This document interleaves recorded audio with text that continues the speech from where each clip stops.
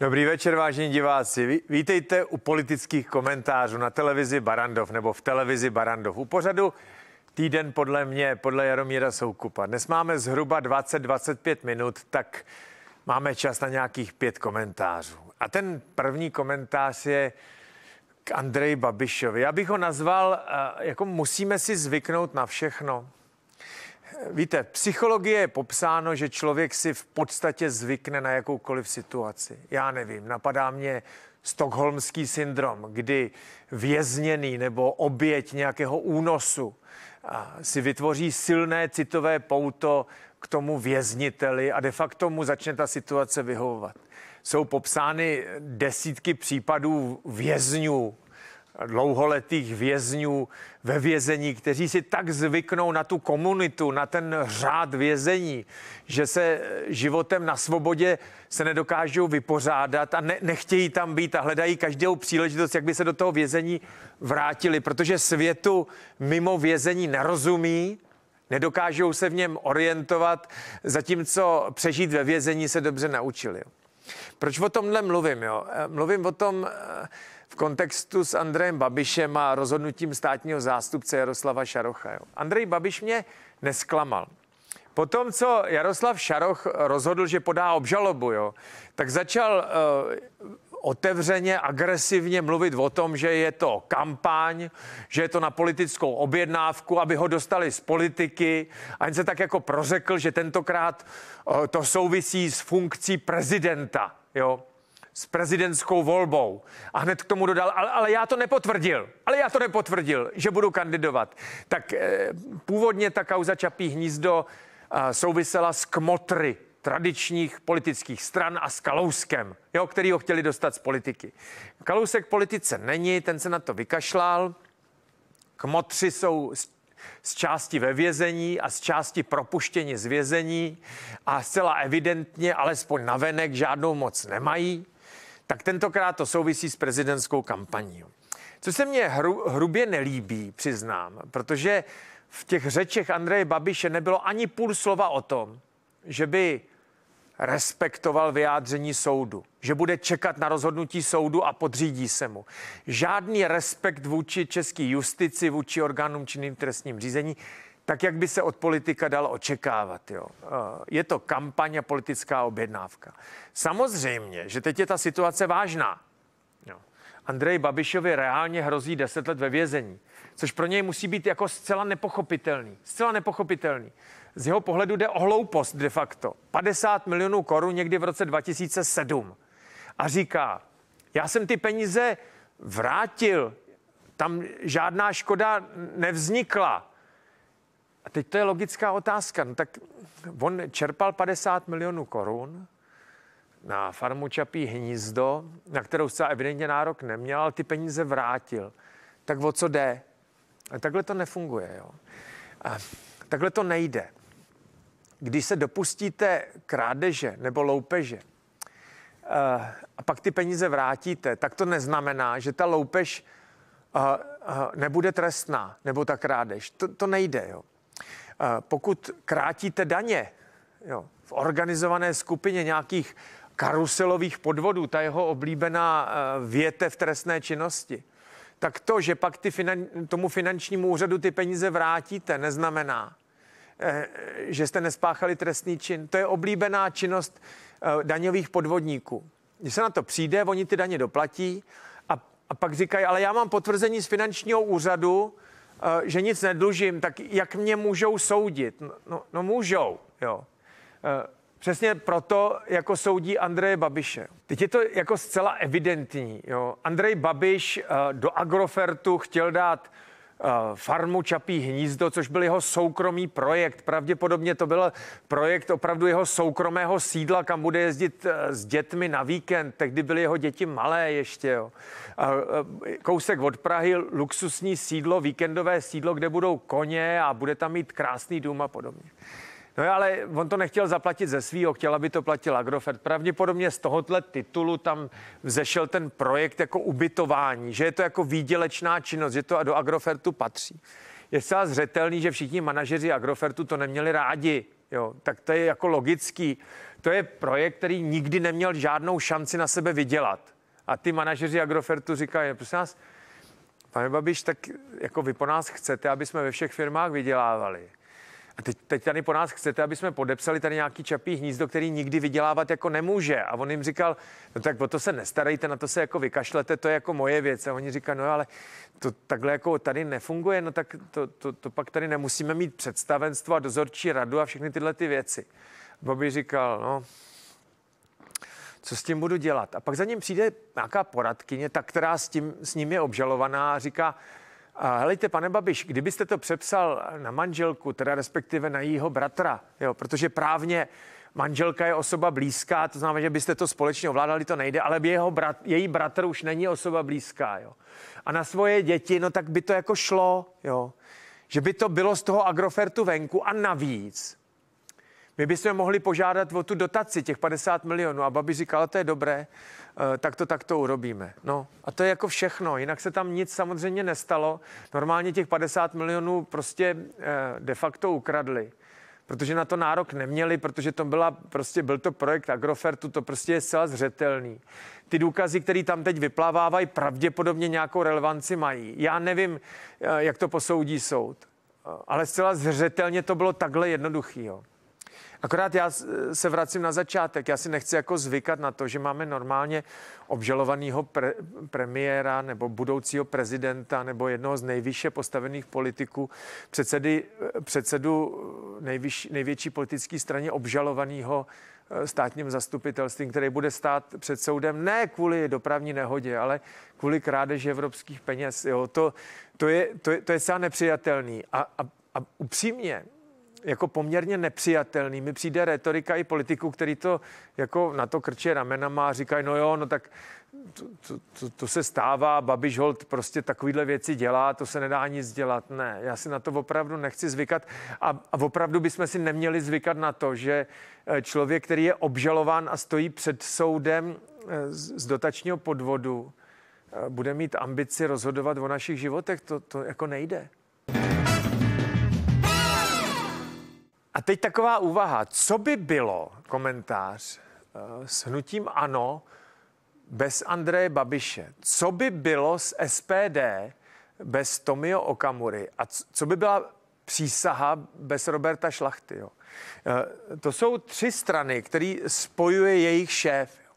Eh, u hnutí ANO je ta otázka jako jednoznačná. Tak si vemte, že Andrej Babiš měl minulý týden jako vážné zdravotní problémy. Byl týden v nemocnici, upadl do bezvědomí, to samozřejmě pro ně jeho rodinu musel být šok. Jo. Já si myslím, že Andrej Babiš tuhle chvíli je opravdu pod tlakem rodiny, ať se na tu politiku vykašle, ať to nechá být. Jo. Má neomezený množství peněz, má svoje roky, je mu 67 roku a, a, a, a je pod neuvěřitelným tlakem pořád. Jo. Tak Andrej Babiš říká, že ne, že je urputné hovado, ale myslím si, že pod tlakem rodiny je. Navíc je obžalován. Jo. To, co jsem říkal předtím. Jo. Je jasný, že eh, politický dny Andreje Babiše jsou sečteny. Jo. To je jako zřetelný. Jsou sečteny, to je konečná. To, že teď eh, politici jsou překvapení a těžko si zvykají na život bez Andreje Babiše. To, že Andrej Babiš se nechce vzdát, to je jako pochopitelný, ale v politice skončil. To je můj názor, můj komentář, mám na něj právo. Jo. Otázka je, co bude s nutím ANO bez Andreje Babiše. To bude jako v přímém přenosu rozklad. Tam není vůbec nikdo, kdo by dokázal převzít jeho úlohu. Žádný Havlíček, žádná Šelerová, nic. Upřímně, to samozřejmě začátek konce hnutí ANO. V příštích volbách hnutí ANO už zdaleka nebude tak silné, jako bylo a pravděpodobně se už nikdy nevrátí do vlády. To je můj os- osobní komentář. Vycházím z toho, že Andrej Babiš v politice skončil. Eh, Tomio Okamura, to je eh, stejný případ. Jo. SPD bez Tomio Okamury nemá vůbec žádnou šanci na přežití. To se rozpadne v podstatě okamžitě a hlavně to ztratí jakoukoliv podporu veřejnosti. Je jasné, že Tomio Okamura a SPD uh, jedno jsou. Jo. Jeden bez druhého nemůže být v politice. A přísaha je úplně to samé. Mimo jiný, ta poznámka, kterou jsem tady chtěl říct, je ta, že u všech tří mi ukrutně nadávají, že jsem zvu. Jo. Jako kdyby a, a, to, že se tady objeví Tomio Okamura automaticky znamenalo, že s ním souhlasím. Nebo že se to objeví Robert Šlachta, že s ním souhlasím. Dřív jsem chodil Andrej Babiš, což zase jsem byl pod tlakem, že s ním souhlasím. Je, je podle, podle mě tenhle ten zajímavý fenomén, že u těch um, mediálně neoblíbených uh, politiků, když přijdou na Barandov, tak to znamená, že Barandov je podporuje, souvisí s tím, že Barandov a Soukup jako uh, jedno jsou, Barandov bez Soukupa si lze těžko představit, stejně jako hnutí ANO bez Andreje Babiše. Pravděpodobně z tohohle důvodu, protože pokud přijde Tomio Okamura na primu, no tak nikdo neříká, že majitel Primy ho podporuje. Jo. Tady je to prostě opačně. Tak a teď komentář k jaderné energetice, respektive k hlavní tváři jaderné energetiky v Česku. Dana Drábová. Jo. Dana Drábová je šéfka státního úřadu pro jadernou bezpečnost, což je úřad, jehož činnost je nám skryta, e, zosobňuje ho. Jo, to je stejný jako Barandov zosobňuje Jaromír Soukup a SPD, Tomio Okamura a hnutí ano e, Andrej Babiš. E, Dana Drábová je nejviditelnější tváří a je, je Čechy oblíbená, protože my jsme jako příznivci jaderné energetiky Jo, jaderná energetika nám všechno zařídí. Já tady mám několik poznámek. Jaderná energetika toho moc nezařídí, protože nové jaderné zdroje budou stát dva, za 20 let a budou nás stát stovky miliard korun, to je jednoznačný. A teď tu naši aktuální situaci nevyřeší. Navíc škoda jedný strojírenství patří Rusům, což se bude muset nějak dořešit. Buď to znárodníme, nebo to od nich koupíme, nebo oni nám to dají. Nějak to budeme muset dořešit, aby jsme vůbec dokázali uvažovat o dostavbě um, jaderné elektrárny. Dana Drábová je zastánkyně uh, jaderné energetiky. Já se za poslední dobu uh, jako bavím mě její vyjadřování začíná opravdu strašně bavit.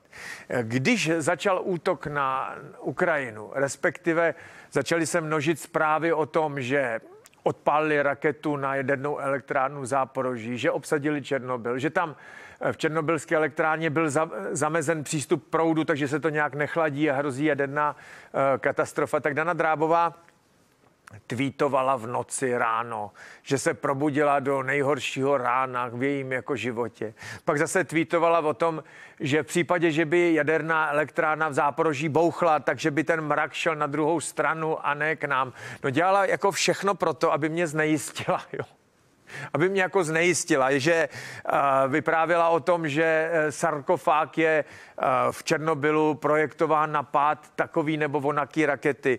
Reaktor v Záporoží je projektován na to, aby vydržel pád stíhačky, such, stíhačky Suchoj a tako, takovýhle věci. O tom, že by jaderná elektrárna byla teda bezpečná po událostech na Ukrajině, o tom silně pochybuju. Já, já vím, já si tímhle řečma moc kamarádu neudělám a chtěl jsem na to upozornit.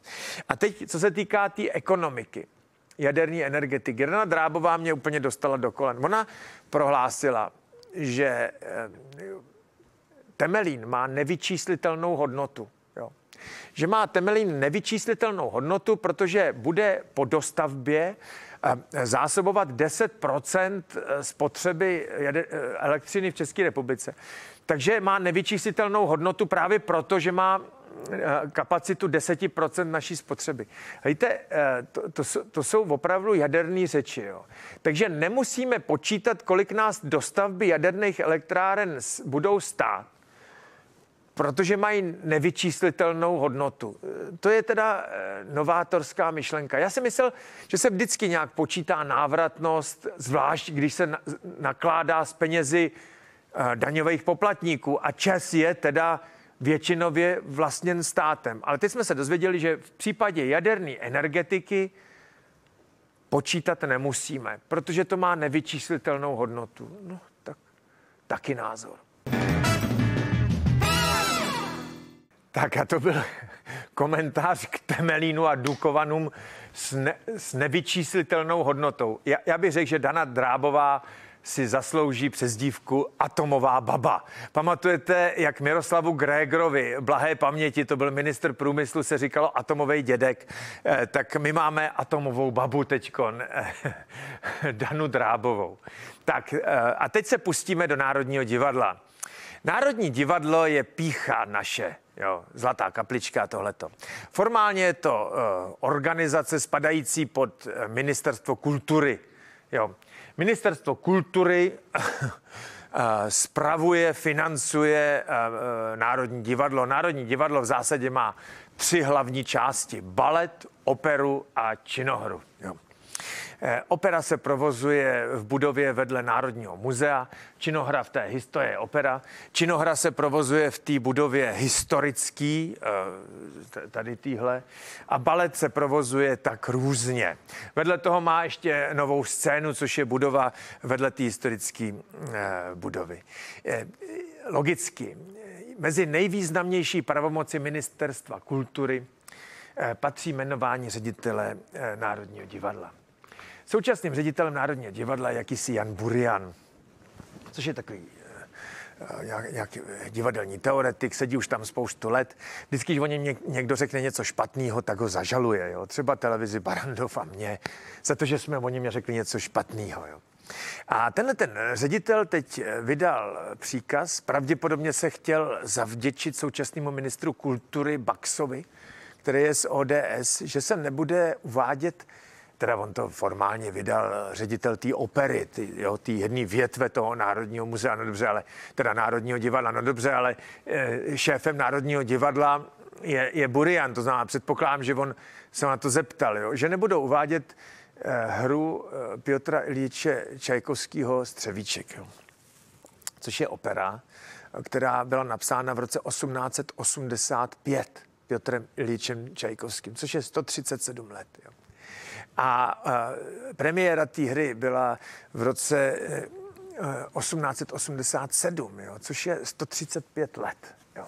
V Česku se poprvé hrála v roce 1930 v Plzni, plzinská opera. Eh, celý ten for je v tom, že ten střevíček je pohádka. To je pohádková opera. Je to nádherný představení. Nádherný. Čajkovského hudba je nádherná. Jo.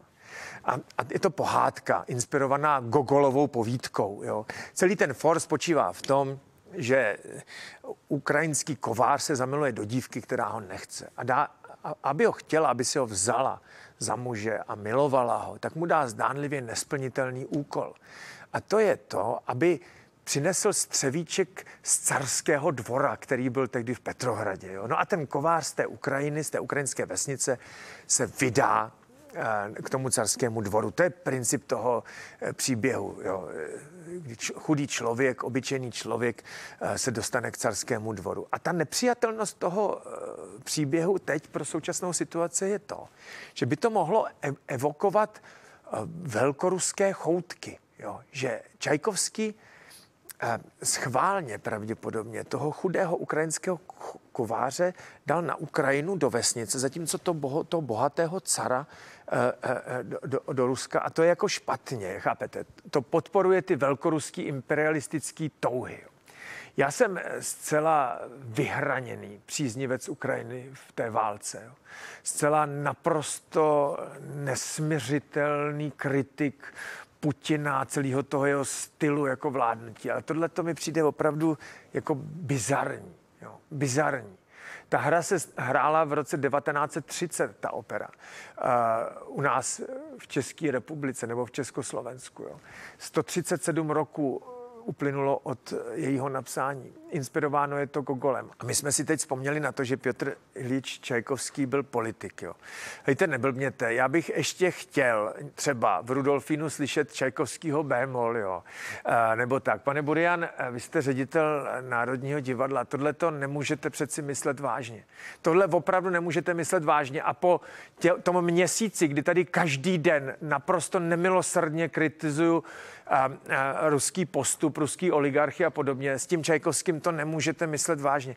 Pane ministře, Baxu, jestli se na to koukáte, mohli byste k tomu zaujmout někdo nějaký názor, protože ta parta v tom Národním divadle se zcela evidentně utrhla ze řetězu.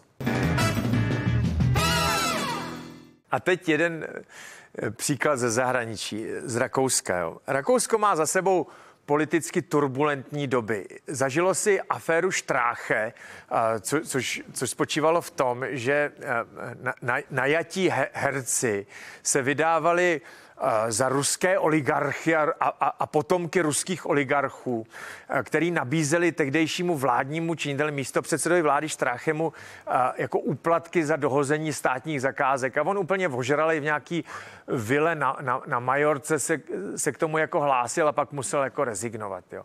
Kancléř Kurz rezignoval na svoji funkci poté, co se zjistilo, že z ministerstva financí plati, platil uh, nějaký průzkumy veřejného mínění jo, ze státních peněz uh, uh, před volbami, jo, aby mu to pomohlo té jeho politické straně, tak z ministerstva financí zaplatil eh, nějaký předvolební průzkumy, což se zjistilo až po volbách a, a, a kancléř Kurz musel rezignovat. Jo. Z našeho pohledu, z, naší, z našeho pohledu politické kultu, kultury jsou to takový zanedbatelné věci. Jo. My máme obžalovaného Andreje Babiše, který pravděpodobně bude opravdu chtít dělat prezidenta, ale v Rakousku to berou jako jinak. Mezi poměrně bizarní postavy rakouské politiky patřila Karin Kneislová. Karin Kneisl, která dělala dokonce ministrině zahraničních věcí v éře Štrácheho a Kurce. A ona se netajila jako obdivem eh, k Vladimíru Putinovi. Dokonce se stalo to, že když se vdávala, což je před pár lety, jo, tak uh, pozvala na, na, na, na svoji svatbu Vladimíra Putina, který tehdy byl nějak na návštěvě v Evropě a on tam opravdu přijel a tam si v rakouském národním kroji s ním jako zatančila valčík. Byla z toho te- celkem mela, ale tehdy jsme pořád my i Rakušáci byli jako fascinováni jak kobra, jak, jak, jak pohledem kobry, jo, tě, těma ruskýma velkopanskýma manírama, jo.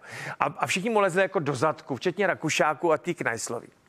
A teď představte si, na této svatbě, tak Najslová dostala, ministrině zahraničních věcí byla tehdy, jo, eh, dostala eh, náušnice jako svatební dar jo, v hodnotě 50 tisíc eur od Putina. Jo. A, a jak ona řekla, že děkuje, jo, že je to hodně jako hezký a ještě se s nima chlubila. A teď si rakouský stát vzpomněl, že chce, jo, že ty, že ty náušnice Eh, dostala teda od Putina, ale byla jako ve funkci ministrině zahraničních věcí. A kdyby nebyla ministrině zahraničních věcí, jo, tak eh, by ty náučnice nedostala. A že ministr zahraničních věcí nesmí přijmout takhle drahý dar, je to přes milion korun, zhruba milion korun to stálo, milion dvěstě tisíc korun.